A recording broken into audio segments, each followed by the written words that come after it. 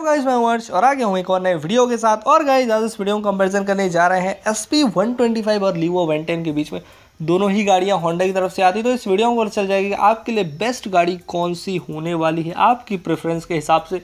बाकी पहले अपन दोनों ही गाड़ियों की बात कर लेते हैं, फिर एंड में अपन बात करेंगे सीधा कंक्लूजन के बारे में। तो भाई, जो लीवो है, आपको कुछ ऐसी देखने में लगती है, इसमें आपको कुछ हेड वगैरह ऐसा डुअल टोन में देखने को मिल जाता है। वाइजर वगैरह काफ़ी अच्छे डिज़ाइन है।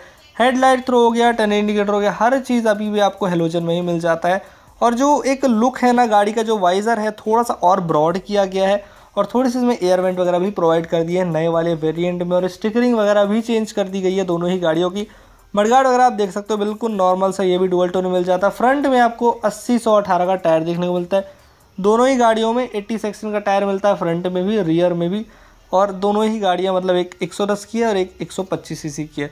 वहीं एस पी की बात करता हूँ, आपको इसमें कुछ ऐसा हेड देखने को मिल जाता है, इसमें आपको थोड़ी सी मैट ब्लैक फिनिश मिल जाती है वाइसर भी मिल जाता है ब्लैक कलर का और स्टिकरिंग वगैरह भी इसमें साइड में अच्छे डिज़ाइन करके लगाई गई है और जो इसका हेडलाइट है ना, पूरा ही एलईडी सेटअप वाला आता है। टेन इंडिकेटर अभी भी हेलोजन में ही है, लेकिन भाई जो हेडलाइट सेटअप है, पूरा ही एलईडी में आता है। तो हेडलाइट थ्रो जो है ना एस पी का थोड़ा सा ज़्यादा बेटर है। बाकी बात करो एक वाइड कवरेज की मतलब आप थोड़ा सा लो बीम पे थोड़ा ज़्यादा फोकस रखते हो। तो भाई उसके लिए भाई लीवो अच्छी है, लेकिन हेडलाइट थ्रू ओवरऑल बात करूँ ना तो भाई S P one twenty five का बहुत ज़्यादा बेटर है। लीवो के अपन आ जाते हैं मीटर कॉन्सोल पे तो आपको एनालॉग प्लस डिजिटल डिजिटल का कॉम्बिनेशन देखने को मिल जाता है। इसमें आपको 140 तक की स्पीड मार्किंग वगैरह देखने को मिल जाती है। आप इसमें ट्रिप वगैरह देख सकते हो। और लो फ्यूल इंडिकेटर है गियर पोशन इंडिकेटर वगैरह हर चीज़ नहीं इसमें देखने मिल जाता है। टाइम वगैरह आप इसमें देख सकते हो। और जो एक वो वाला है ना मीटर कॉन्सोल पूरा ही आपको वाइट टाइप का देखने को मिल जाता तो दिखने में भी काफ़ी सही लगता है। भाई, आगे भी हेलोजन सेटअप है इसमें और पीछे भी हेलोजन सेटअप ही देखने को मिल जाता है। बाकी एक चीज़ है इसमें लीवो जो लिखा हुआ देखो ये भी ग्लो खर जाता तो ये भी काफ़ी सही है। और मीटर कॉन्सोल है ना, इसके ऊपर पूरा ही आपको एक सिंगल आपको एक प्लास्टिक कवरिंग देखने को मिलती है। जिसकी वजह से ये जो मीटर कॉन्सोल है, मेरे को तो भाई पर्सनली बहुत पसंद आता है।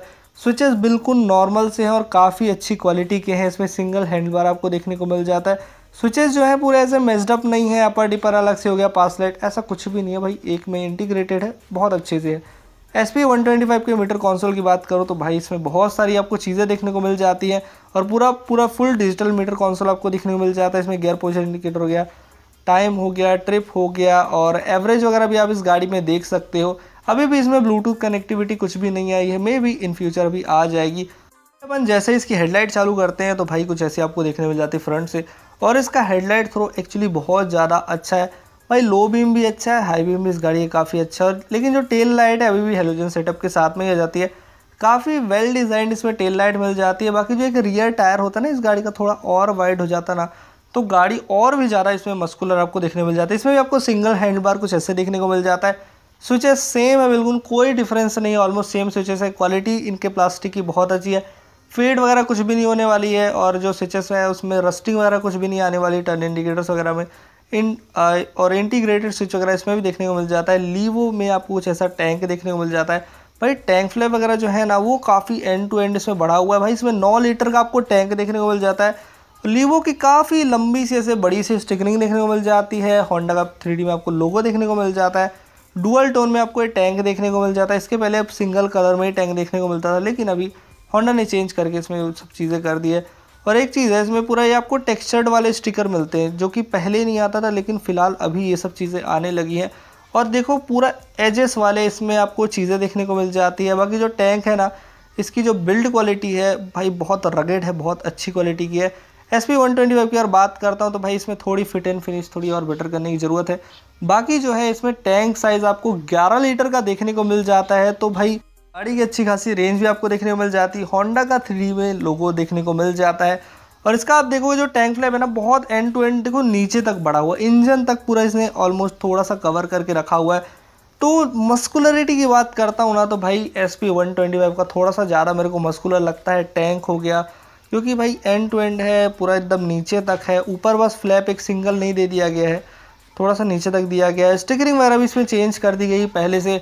इंजन की अगर बात करता हूँ तो आपको इसमें एयर कूल्ड इंजन देखने को मिल जाता है, जो कि 8.79 पॉइंट की पावर निकाल के देगा 9.30 न्यूटन मीटर की आपको टॉर्क निकाल के देगा। चार गियर आपको इस गाड़ी में देखने को मिल जाते हैं सेंसर वगैरह इसमें ठीक ठाक ही देखने को मिलते हैं। और माइलेज वगैरह की बात कर दो, भाई बड़े आराम से आपको 55 के आसपास निकाल करके दे देगी। काफ़ी अच्छी फ्यूल एफिशिएंसी निकाल के देती है। S P one twenty five में आपको एक सौ पच्चीस सी का एक एयर कूल इंजन मिलता है जो कि ten point eight P S की पावर निकाल के देगा और ten point nine newton metre आपको ये टॉर्क निकाल करके देगा। और इसकी अगर माइलेज की बात करता हूँ ना तो भाई ये करीब आपको 48 के आसपास निकाल करके दे देगा। 47, 48, 45 ज़्यादा रगड़ चलाओगे भाई तो 42, 43 तक भी आ जाता है। भाई रियर दोनों के सेम टायर देखने को मिल जाते हैं कोई डिफरेंस नहीं है टायर साइज़ में। बाकी गाड़ी जो है ना लुक वाइज तो पीछे से डिफरेंस आपको देखने को मिल जाता है। ग्रेबल वगैरह आप देख सकते हो सीट कुशनिंग है, दोनों ही गाड़ियों की बहुत बेटर कर दी गई। जो पहले वाली अपनी एसपी थी लीवो थी, उससे बिल्कुल जज मत करना, क्योंकि मैंने पर्सनली गाड़ी चला करके देखी है, बैठ करके देखी, जो भी चीज़ें टेस्ट करके देखी है ना। तो सीट कुशनिंग जो है, वो फार बेटर हो चुकी है पहले से। यहाँ पे आपको एस पी में थोड़ा सा जो स्टिकरिंग वर्क है, थोड़ा सा ज़्यादा देखने को मिलता है।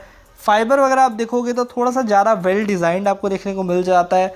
तो अभी आप गाड़ी देख लो और ओवरऑल अगर मैं बात करता हूँ तो भाई लुक वाइज देखो, गाड़ी आपको सेट करनी है।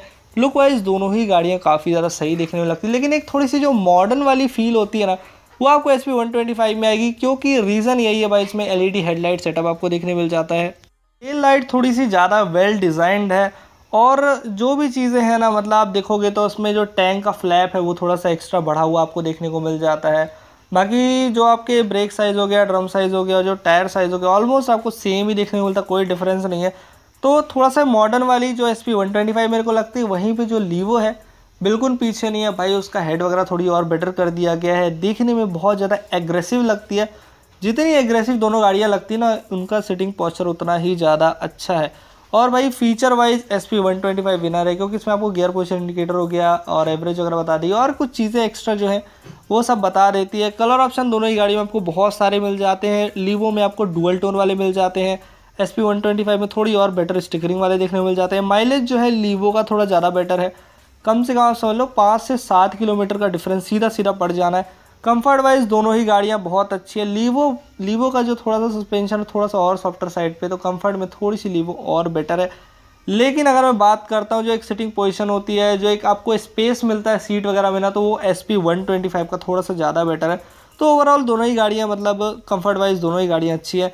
इंजन दोनों गाड़ियों का रिलायबल है हेडलाइट थोड़ा S P one twenty five का ज़्यादा बेटर है। बिल्ड क्वालिटी जो है, दोनों ही गाड़ियों की काफ़ी अच्छी जो ब्रेक्स हैं, वो दोनों ही गाड़ियों के ठीक ठाक कोई खास नहीं है। दोनों ही गाड़ियाँ स्टेबल चलती हैं और पिकअप और एंड पावर की बात करता हूँ तो भाई S P one twenty five far better है। क्योंकि मेरे को नहीं लगा था इतना डिफरेंस आएगा, लेकिन जब मैंने गाड़ी चलाई तो लीवो जो है थोड़ी सी मेरे को अंडर अंडर परफॉर्म करती हुई दिखाई दी। रीज़न यही था क्योंकि जो लीवो है, आपको पाँच से सात किलोमीटर का एक्स्ट्रा माइलेज जो डिलीवर करेगी तो थोड़ा सा कहीं पे कट होगा। लेकिन भाई, गाड़ी में पावर की बिल्कुल कमी नहीं है। S P one twenty five के कंपेरिजन में थोड़ी सी कम बोल सकता हूँ।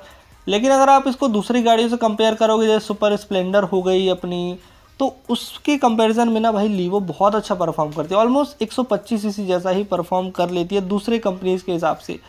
तो अगर मैं ओवरऑल बात करता हूँ तो आपको एक मॉडर्न लुकिंग गाड़ी चाहिए है, जिसमें कि थोड़े से फीचर ज़्यादा हो, थोड़ी सी आपको सीट स्पेस थोड़ी सी ज़्यादा मिल जाए, थोड़ा सा ज़्यादा मस्कुलर लगे तो आप बिल्कुल S P one twenty five को ले जा सकते हो। वहीं पे अगर आपको थोड़ा सा माइलेज ज़्यादा प्रेफर्ड है, गाड़ी एग्रेसिव दिखनी चाहिए कंफर्ट आपको अच्छा चाहिए और इंजन जो है आपको रिलायबल चाहिए, कोई झंझट नहीं चाहिए कि अपन एक बार गाड़ी ली भाई टाइमली सर्विस कराओ पेट्रोल डलाओ, चलाओ।